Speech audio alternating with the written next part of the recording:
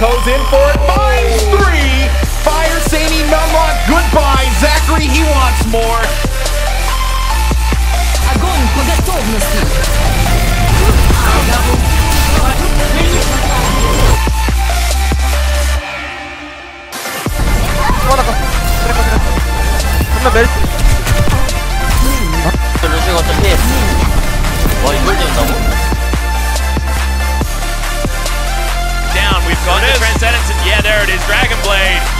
Picking up kills left, right, and center. Everyone getting cut down. That's a quadra. Nano Blade coming through. That's right. Ryu pulls it out to try to counter the engage, and he is going to get four with that Nano Blade.